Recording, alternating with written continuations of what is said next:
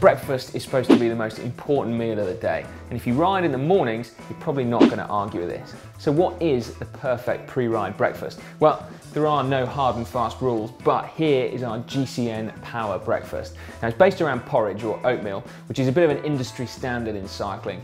Basically, oats are just a fantastic source of slow release carbohydrates, but they've also got great stuff in, like a good chunk of protein and also some good quality fats as well. So let's make our oatmeal.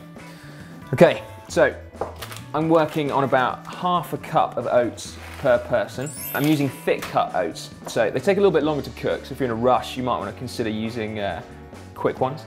But uh, I think these are better for flavour, better for texture, and also if you're going to be after slow release carbohydrates, then having something that's going to take a bit longer to digest is only going to help. So half cup of oats.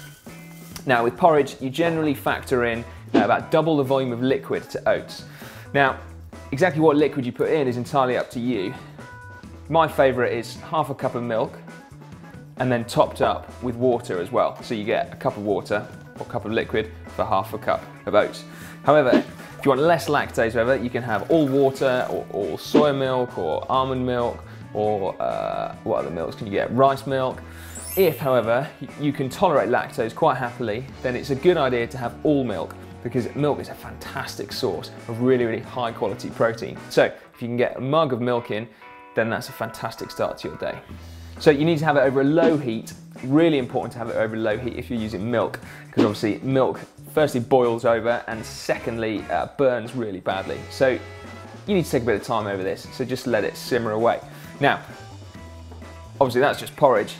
For this to be a GCN power breakfast, we need to add some stuff. So sultanas, they're really good at sweetening the porridge. If you add them first, they'll cook into the mixture and sort of sweeten the whole thing. Because ideally what we want is to avoid adding refined sugars at the end. So this porridge is going to be hopefully sweet enough for us to actually just eat it without anything else. So sultanas go in. Right, next we're going to chop a banana up. So this is the same principle as the sultanas. Now if you don't actually like banana flavour, I wouldn't worry about it because it cooks down and it kind of melts into the porridge. It gives a real mellow sweetness as opposed to actually banana flavour.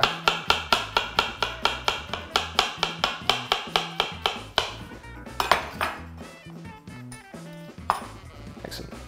Banana goes in. Okay, now finally, what are you doing over there? Okay, now finally, I also like to add like a pinch of salt. Now, some people are going to find that absolutely disgusting, that's fair enough, but I really think it brings out the flavour of the oats. And I actually don't really like porridge without it.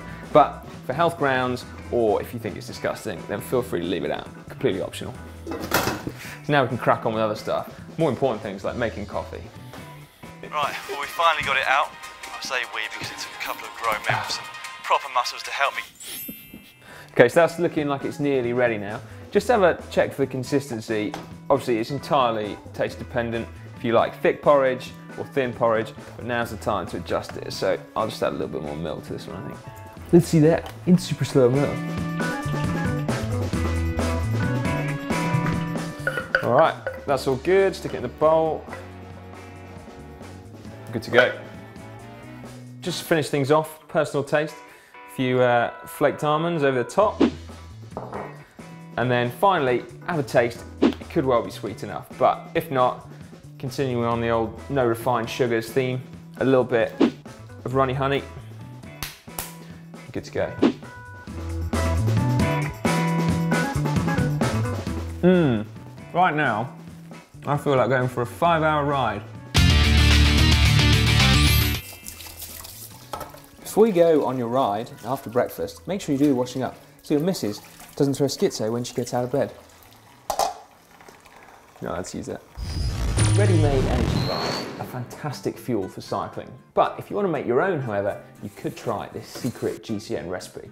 Now, it's based around oats, which are fantastic fuel.